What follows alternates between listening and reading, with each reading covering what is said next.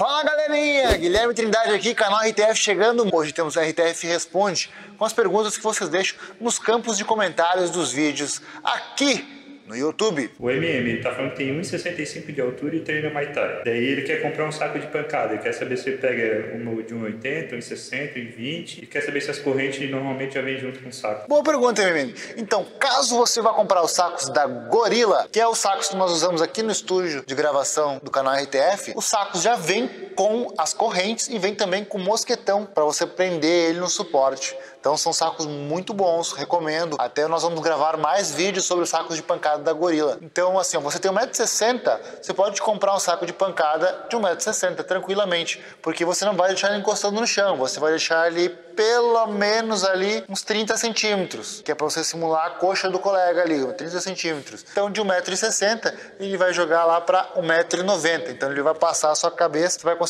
trabalhar golpes na cabeça com bastante firmeza, porque quanto mais no topo do saco, mais vazio ele fica. Então, você vai trabalhar com golpes tranquilo ali e vai conseguir jogar low kicks e os high kicks e os chutes na linha de cintura tranquilo. Então pode comprar um de 1,60m que para você tá suave. Mas caso você ainda vá crescer mais um pouquinho, de repente investe num saco de 1,80m. Saco de 1,80m, é, o cara pode ter até 2 metros de altura que tá treinando bem. É só levantar um pouquinho o saco. Não vai chutar muito baixo, vai chutar essa altura do chão, 30, 40 centímetros do chão, é porque não vai chutar a canela, vai chutar a coxa, então tá tranquilo. Naquele nosso vídeo que a gente fez sobre como treinar em casa, que tinha um saco de pancada bem vagabundinho lá em casa, a Ellen falou assim: quem não tem saco de pancada pode botar um colchão na parede e socar a porrada. O que, que tu acha disso? Então, cara, quem não tem cão caça com gato mas daí tu vai ter que ser obrigado a comer rato. Já ouviu falar essa história? Então você vai comer o quê? Caça o quê com gato? Rato. Vocês podem fazer adaptações? Podem, podem sim. Mas você vê saco de pancada custando 50 reais, cara. 50 reais. Todo mundo gasta com tanta besteira. Fala, gasta 10 reais na Lan House, gasta 15 reais no shoppingzinho. Ah, se você economizar dois, três na semana, você compra um saco de pancada. Se você realmente quer treinar, se você quer fazer as coisas,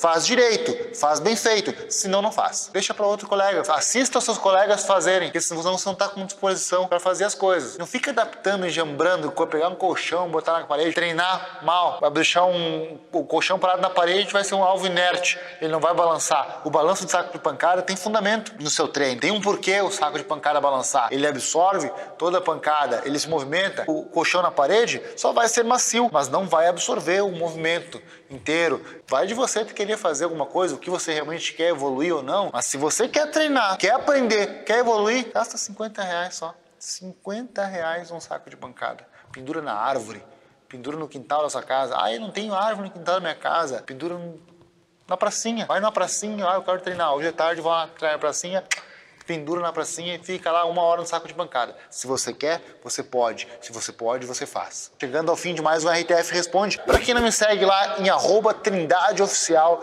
vai lá, manda um oi, um tchau. Deixe suas perguntas para nós. Vamos manter esse quadro vivo. Perguntas inteligentes, por favor, bora lá, se esforcem.